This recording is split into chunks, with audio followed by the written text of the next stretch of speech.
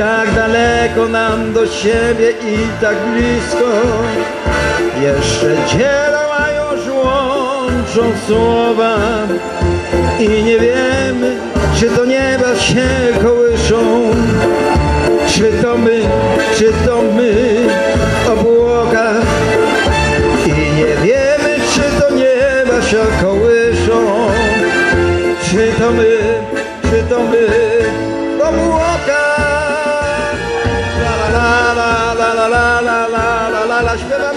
19 listopada w sali kameralnej Wadowickiego Centrum Kultury spotkali się seniorzy z oddziału rejonowego Polskiego Związku Emerytów, Rencistów i Inwalidów w Wadowicach.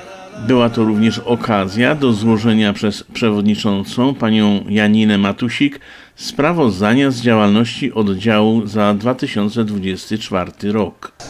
Zarząd wybrany we wrześniu to wszystko nowi członkowie. Ja tylko jestem no, stara, że tak powiem, e, pełniący pierwszy raz dane funkcje, więc musieli poznawać swoje obowiązki. Z uwagi na takie skromne warunki lokalowe, wiecie doskonale jakie mamy, nasz zarząd działa w oparciu o wymogi statutu oraz regulaminu Polskiego Związku Emerytów, Rencistów i Inwalidów. Wadowicki oddział rejonowy liczy 778 członków. Tylko w bieżącym roku, 2024, przyjęto 80 nowych członków. Seniorzy cenią sobie bardzo różne formy spędzania wolnego czasu organizowane przez zarząd. Najbardziej są zadowoleni z bogatej oferty wycieczkowej, która pozwala im zwiedzać miejsca, których dawno nie widzieli lub nigdy nie byli. W swoim wystąpieniu pani przewodnicząca przypomniała niektóre imprezy i uroczystości, w których uczestniczyli członkowie wadowickiego oddziału. I tak, nowy rok rozpoczął się kuligiem w Zawoi. Później były wycieczki do czeskiej Pragi, do Słowacji, jaskini lodowej, do Wrocławia była dwudniowa wycieczka, do Wieliczki, szlakiem Orlich Gniazd, do Zakopanego. Dwukrotnie była również wycieczka zakupowa do Cieszyna. W 11 wycieczkach uczestniczyły 452 osoby. Z ogólnych imprez warto wymienić zabawę noworoczną, majówkę, dwukrotnie ognisko na zbywaczówce, czy aktualny Dzień Seniora, z którego pochodzą prezentowane ujęcia. Dużym powodzeniem cieszyły się wyjazdy na baseny termalne, innymi do Chochołowa, z których skorzystało 547 osób. Łącznie z różnych form integracji wypoczynku skorzystało 1810 osób. Inna forma działalności to wczasy, z których skorzystało 170 członków oddziału.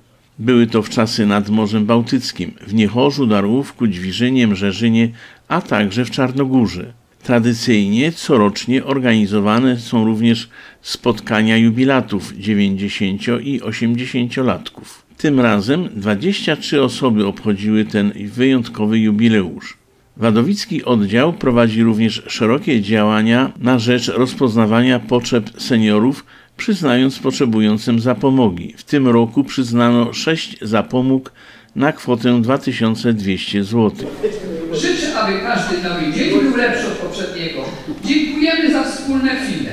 Jesteśmy przekonani, że najpiękniejsze jeszcze przed nami. Dziękuję bardzo. I bawimy się do godziny 19. Rytm walczyka, serce śpiewa, kochaj mnie. Bez miłości świat nie